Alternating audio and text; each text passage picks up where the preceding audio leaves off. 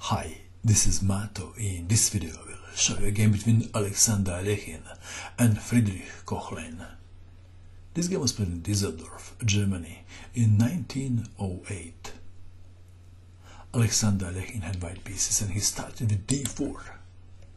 Friedrich Koehnlein played d5, knight to f3, e6 and now e3, Colle opening, knight to f6, bishop to d3, knight from b to d7, knight from b to d2, bishop to d6. Is this copycatting or what? White to move. If white castles kingside, black can castle kingside too. Alekhine played e4 and Koehnlein stopped copycatting. He captured the pawn on e4. What will happen if black continued with copycatting? Let's have a look.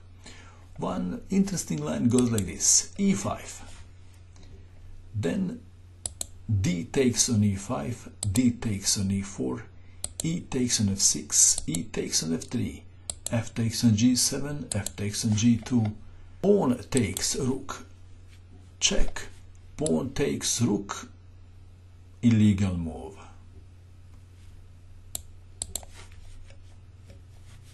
that is why it was wise to stop copycatting. D takes on e4 knight takes on e4 knight takes knight bishop takes knight Koehnlein castled kingside. Bishop to g5 attacking the queen queen to e8 and Alekhine castled kingside too.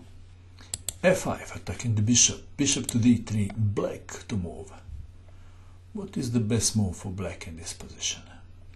Maybe h6 knight to f6 Koehnlein played e5 threatening e4 but this move has an obvious downside. Can you see the downside? The downside is that is on the e file and the rook is coming to e file sooner or later d takes on e5 knight takes on e5 rook to e1 queen to h5 knight takes on e5 queen takes bishop. Friedrich was happy to have material equality but he missed something. White to move what is the best move for white in this position can you find the best move for white? The best move is bishop to c4 check.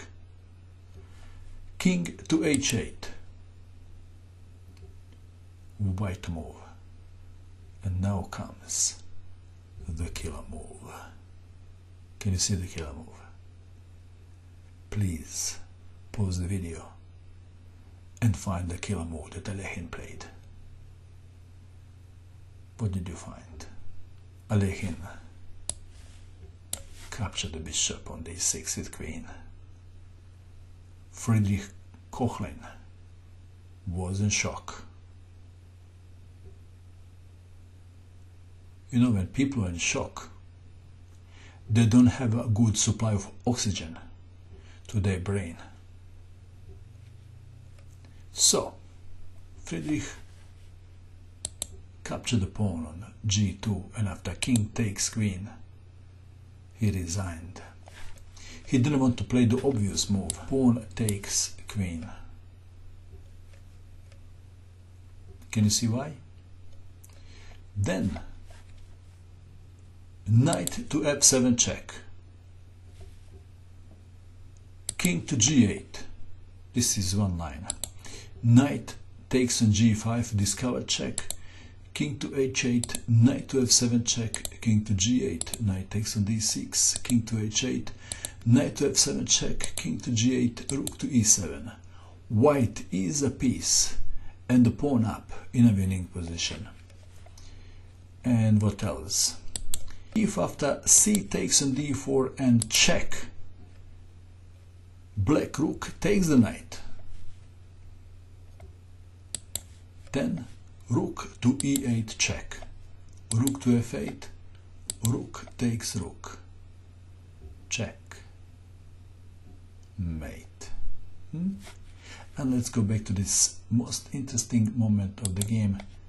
This is the position. Did you see the killer move?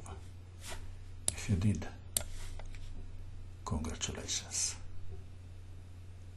And that is all. I hope that you enjoyed watching this video. I wish you good luck with your chess and bye for now.